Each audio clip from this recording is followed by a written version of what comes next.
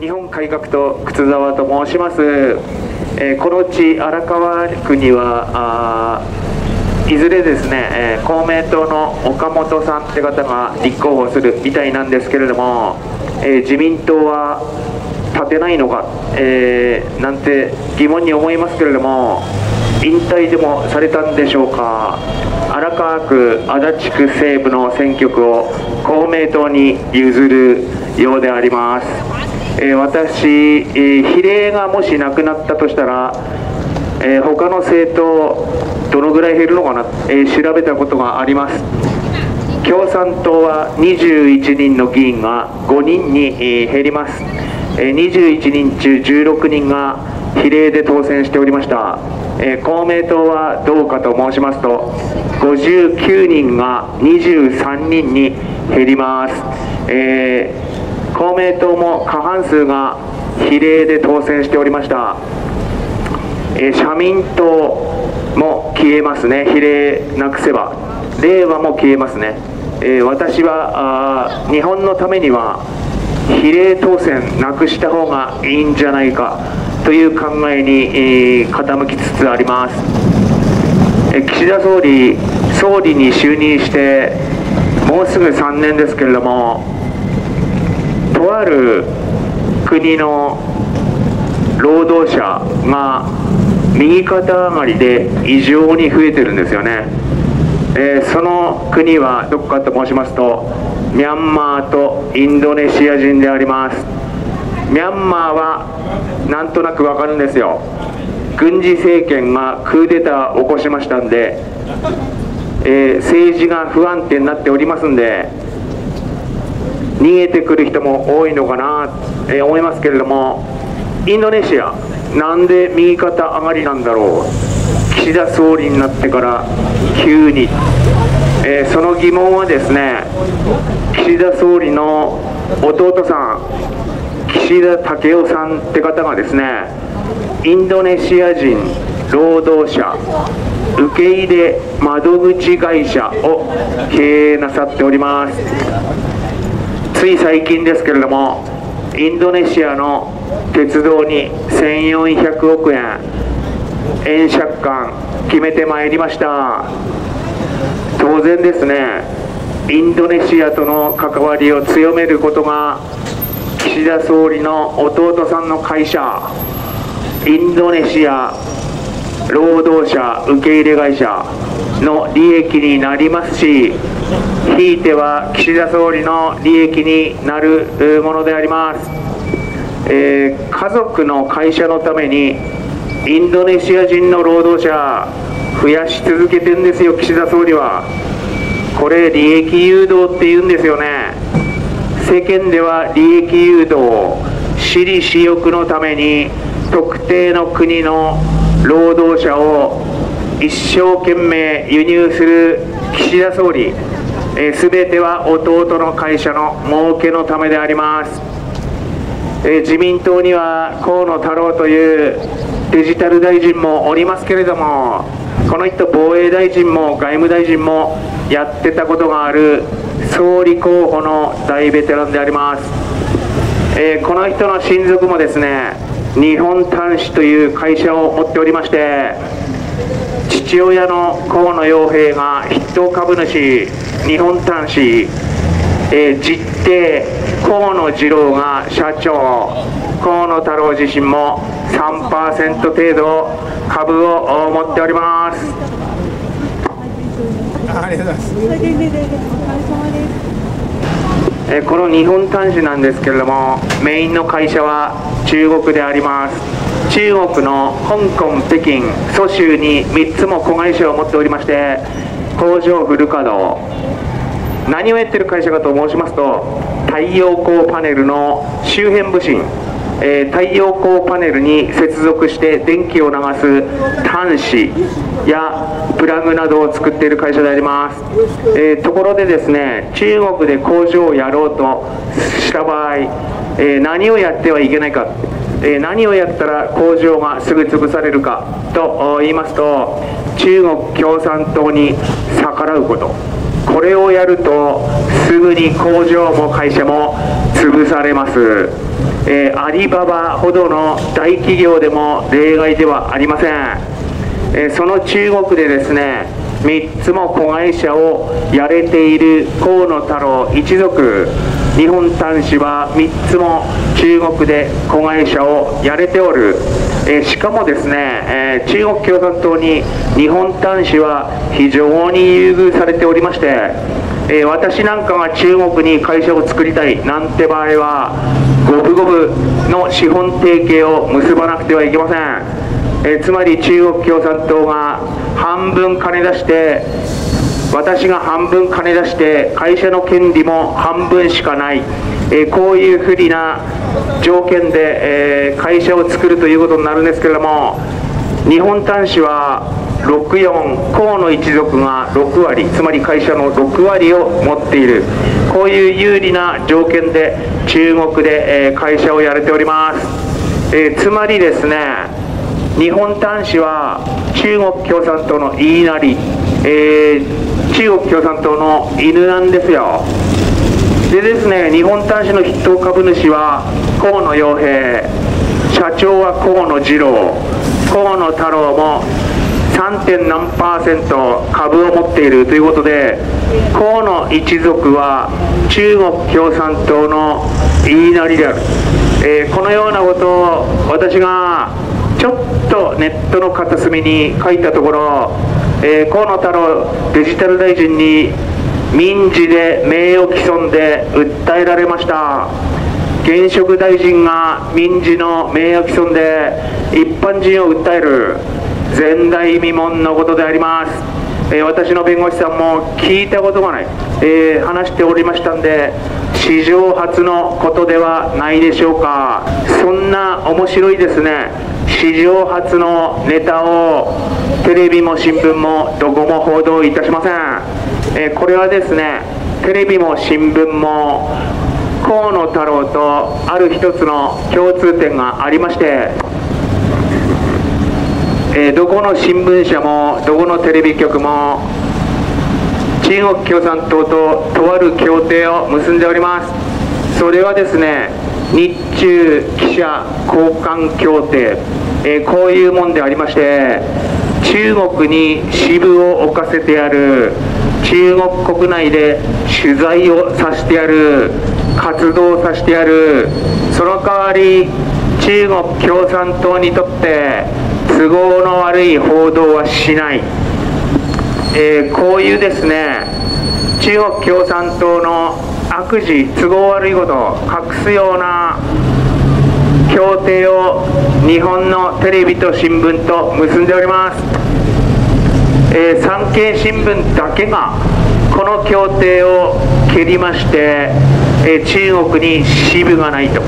えー、つまり産経新聞以外の新聞テレビはこの協定を飲んでおります。この協定を飲むということは中国共産党にとって都合悪い報道はしないということであります。え河野太郎一族は中国共産党の犬。日本のテレビ新聞産経以外は中国共産党の犬ということで中共の犬仲間、えー、ということでですね河野太郎が感触を起こして私を名誉毀損で訴えたことを日本のテレビ新聞は一切報道しようといたしません。さすがにですね第1回後半が始まったら報道するのかと、えー、どうなんでしょうね、えー、しないかもしれませんね。普通の左翼共産党絡みの人物が起こした裁判でしたらば提訴した瞬間にテレビで報道するのに河野太郎が一般人を訴えた前代未聞の出来事これをですねテレビ新聞は一切報道しませんよね。安倍総理国葬反対集会でしたらばたった5人の集まりでもテレビは放送するんですよ。偏ってますよね。NHK スクランブル放送にしろと。えこういうデモに300人集まってもテレビは一切無視いたします。新聞も同様であります。おかしいですよね。私はテレビを捨ててもう20年近くになりますけども一切困ったことがありません。むしろ精神の安定を得て、えー、爽やかに過ごせております。テレビの番組の裏にはえー、これこれこうです。だからこれを買えと、えー、こういう文句がついて回ります。つまりですね必要がないいらない商品を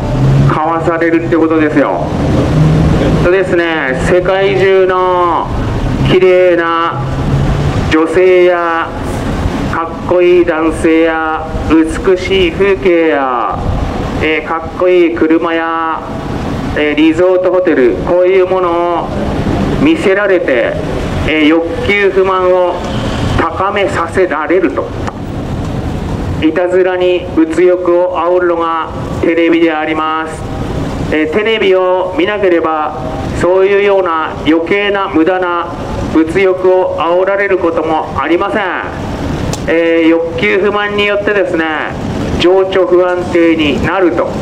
えー、こういうのがテレビの害悪であります。私はテレビを捨てて20年になりますが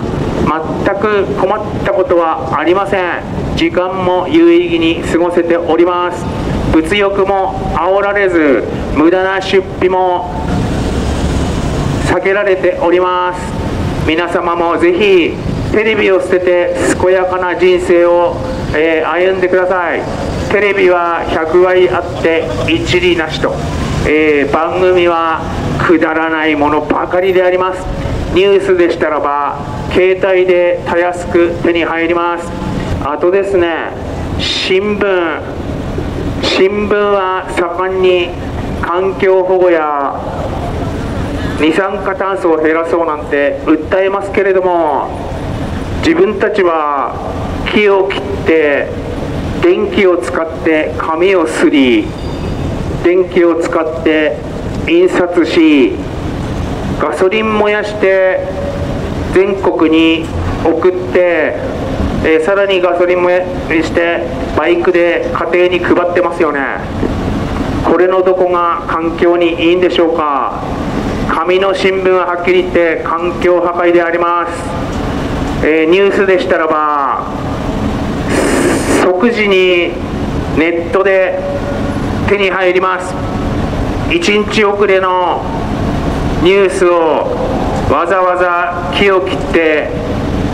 紙を作って印字した新聞これで手に入れる必要は全くの無駄であります。紙の新聞は環境破壊であります。その新聞が盛んに環境破壊を訴えて二酸化炭素がどうのこうのと、えー、全くの茶番であります、えー、特に朝日新聞毎日新聞、えー、目も当てられない嘘つきどもであります。朝日新聞の若宮慶文義文という人物は長年の中国共産党への忠誠のご褒美として北京の大学の教授になれたんですけれどもえー、なんか知りませんけれども北京のホテルで死んでたそうであります、えー、若宮も憧れの北京で死ねて本望だったと思いますけれども、えー、紙の新聞環境破壊。テレビは精神の毒であります。テレビを見るとバカになると。皆さん親にそう言われて育ってきましたけれども今その親がテレビ付けのバカになって、えー、嘆く方も多いのであります、えー、岸田総理の弟はインドネシア労働者窓口会社をやって儲けを貪っております。河野太郎は一族で日本端子という会社で太陽光パネル関連で儲けを貪っております、えー、小泉進次郎環境大臣。今は環境大臣でないですけれども、えー、太陽光パネル引き詰めること一生懸命なんですがこの方の奥さん滝川クリステルという方はですね、え、財団をやっておりましてこの財団が太陽光発電事業を一生懸命やっております。え、つまりですね小泉進次郎環境大臣が太陽光パネルを普及させようと、え、一生懸命やりますと奥さんの財団が潤うと、えー、岸田総理は弟が人買会社河野太郎は日本端子で太陽光パネルプラグ。小泉進次郎は奥さんが太陽光発電事業。自民党こんなのばっかりじゃないですか、えー、親族会社を儲けさせるようなことばっかり。一生懸命税金を使ってやっております。自民党はもうですね利権ファーストのと,、えーと、名前を変えたらどうなんでしょうか。他の自民党の議員もですねいると思いますよ。そういう利権を貪ってる人間が世耕さん世耕参院幹事長も近畿大学の、えー、理事長であります。そうしますと勢いですね。大学に補助金あげましょう、えー、こんな話になってきますよね。今は自民党を離党しておりますけれども世耕参院幹事長近畿大学の理事長であります、えー、近畿大学がそもそも世耕一族が、えー、始めた大学でありまして世襲、えー、世襲で学校の持ち主になっておりますけれども、え、自分が大学の持ち主なんですからそうしますと大学にもっと補助金出しましょう、え、こんな話になりますよね、え世耕さんが総理大臣になった暁には私立大学があウハウハするような政策がなされることだと思います。自民党こんなのばっかりですよ。えー、そもそもですね憲法改正するぞって言って69年前にできたのが自民党であります。憲法の一単語どころか丸も点も一文字も変えていないのが自民党じゃないですか。会見するする詐欺で保守ぶって投票してもらって何にもできてないのが自民党であります。LGBT 法案なんていうですね全く必要がない法律を無理やり通したのも自民党であります。あれ以来そういう属性の方々に文句を言いづらいという雰囲気になってしまいました。LGBT 法案というのはですね結局は利権のためでありまして LGBT 理解増進事業とえー、こういうものを地方の自治体に押し付けましてこれをやれと、え、どうやったらいいんですか？と、えいうようなことを聞いてきたらじゃあ講師派遣するから、え礼金出しなさい。こういう利権が発生いたします。このため無理やりですね LGBT 理解増進法、え理念法で罰則がないから大丈夫なん言っておりますけれどもこんな余計な法律作ったの自民党ですよね、えー、結局はですねありとあらゆる世の中の矛盾やおかしなこと、えー、自民党なんですよね。悪いのは。外国人生活保護、えー、そんなことをやってる国は世界中で日本だけであります。こんなことを70年も続けてるのはどこですか？自民党ですよね、えー、外国人実習制度なんていう変なものを作ってですね。まあ要は安い外国人労働者をたくさん輸入いたしましょう、えー、米国国務省から奴隷貿易であると、えー、奴隷商人やめなさい。名指しで批判されてますよ。外国人実習制度。えそれでですね今度は外国人育成就労制度なんて名前に変えて、えごまかそうとしておりますけれども2023年度何人の実習生がいなくなったか行方不明になったかと言いますとなんと9000人ですよ。外国人実習生9000人が去年昨年行方不明になっております、えー、この9000という数はそのまま不法滞在者となりまして、えー、現在25万人いると発表されている不法滞在者どこにいるのか分かりません、えー、山の中にいるんでしょうか。地下に潜っているんでしょうか。日本には今25万人の不法滞在者が隠れ潜んでおります。25万人っていうと文京区の住民人口とほぼ同じぐらい。そういう人らがですねそのぐらいの人数が地下に潜って隠れ住んでいるわけなんですけれども昨年それを9000人増やしたのが自民党が行っている外国人実習制度であります。外国人実習制度の名前をですね育成就労制度という名前に変えて何がどう変わるのか、えー、もっとひどくなります。外国人実習制度よりももっと多くの人数の外国人を労働力として輸入いたします、えー、失踪者も増えることでしょう。1万人コストもあります。毎年毎年1万人ずつ不法滞在者を増やす。それが自民党であります。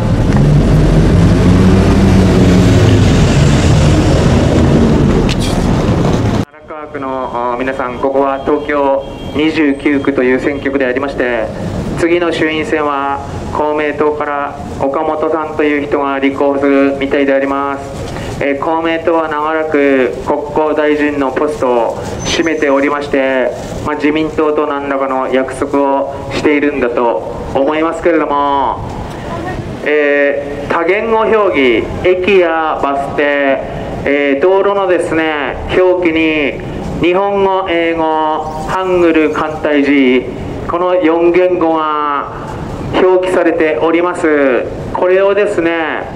指導し、ご利用ししているのが国交省であります。もうちょっと詳しく言いますと、国交省、観光庁、国際観光課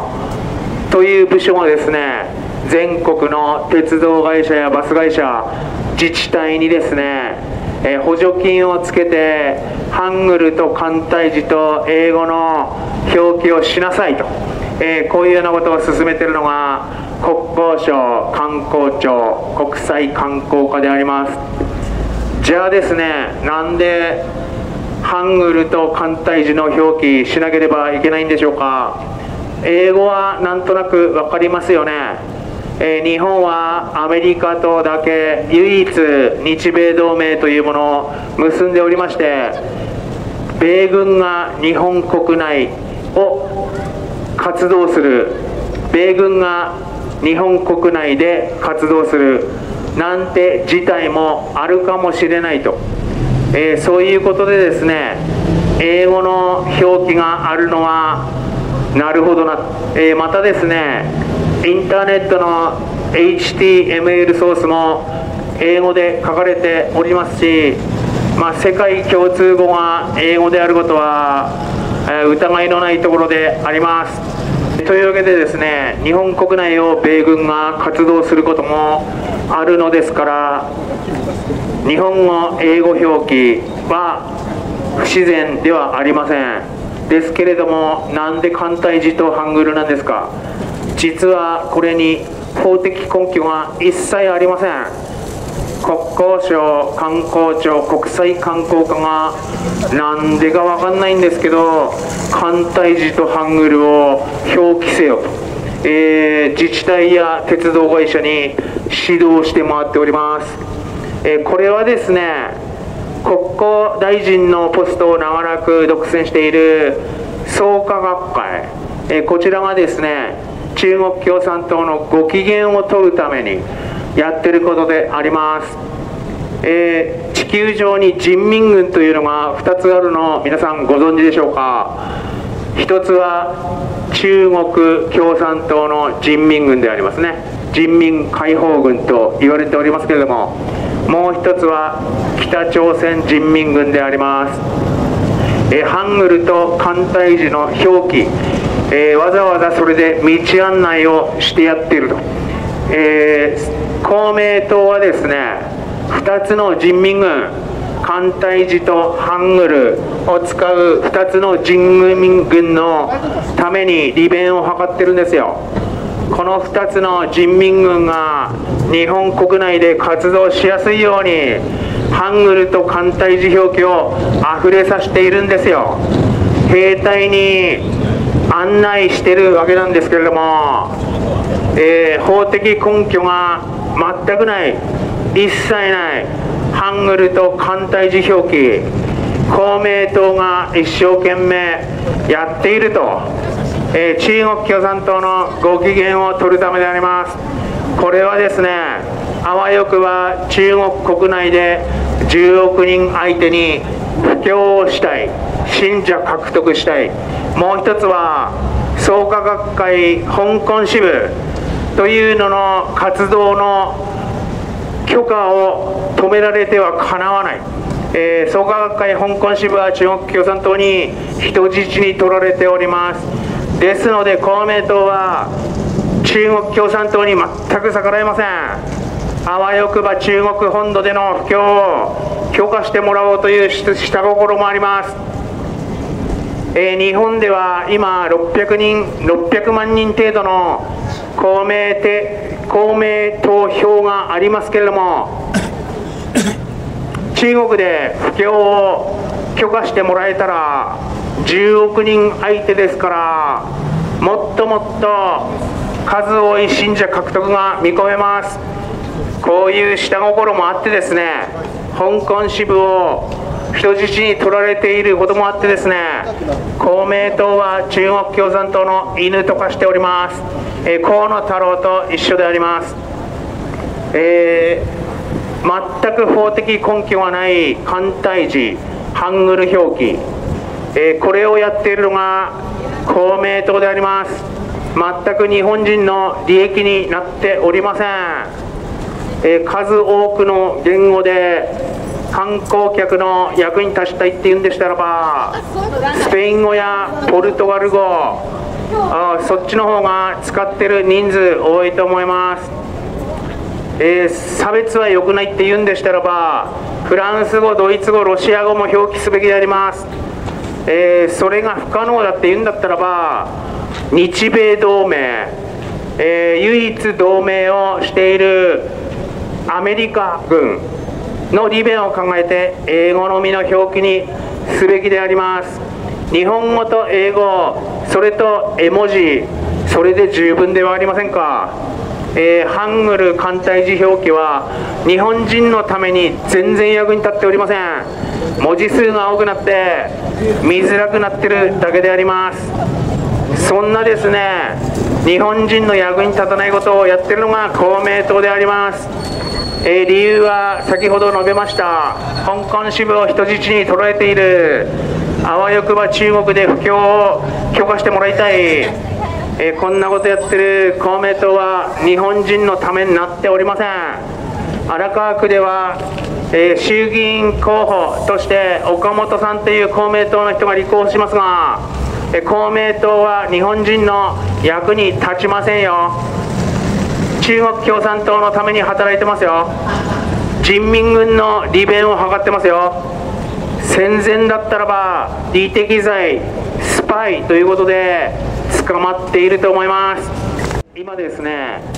太陽光発電施設などから電線泥棒っていうのがすごい増えてるのを皆さんご存知でしょうか。えー、一昨年は1万円件余りだった電線泥棒がですね